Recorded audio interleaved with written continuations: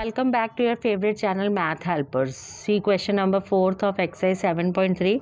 Find area of quadrilateral whose vertices are minus 4, minus 2, minus 3, minus 5, 3, minus 2, 2, 3 taken in order. Now area of triangle you have to firstly you have to find area of quadrilateral. You have to find area of quadrilateral. For that firstly you will find area of triangle 1 then area of triangle 2 then you will add you will get area of quadrilateral now for area of triangle 1 you will use this formula it is half x1 y2 minus y3 plus x2 y3 minus y1 plus x3 y1 minus y2 so this is the formula if three points are given finding the quadrilateral. Suppose this is x1 y1 this is x2 y2 this is x3 y3 now for finding the area you will put the values.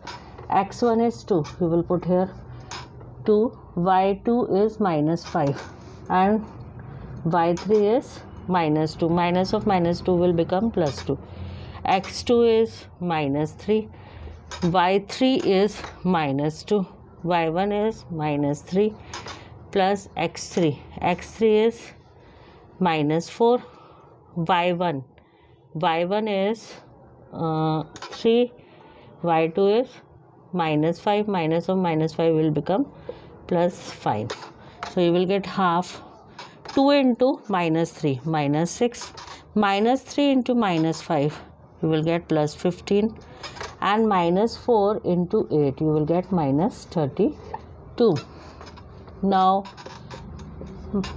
minus minus you plus minus 38 you will get and plus 15 you will subtract 38 minus 15 you will get 23 in minus. But area is there so you have to take modulus. Modulus means you will take 23 by 2 unit square. Always if area is coming negative you have to take only positive value only.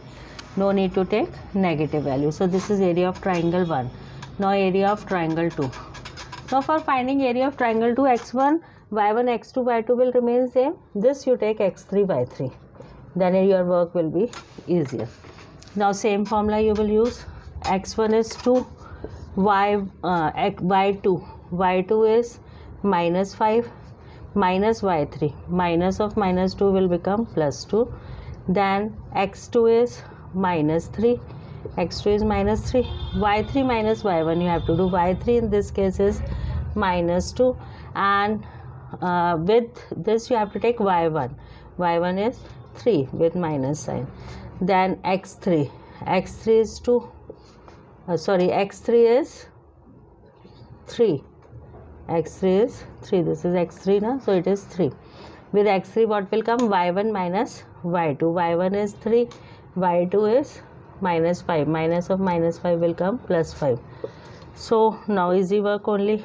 2 into minus 3 minus 6 minus 3 into minus 5 plus 15 3 into 8 24 so you got minus 6 plus 15 plus 24 so plus plus you will add you will get 39 now minus 6 plus 39 minus 6 plus 39 will come 33 by 2 so this is the area of second triangle. Now area of quadrilateral will be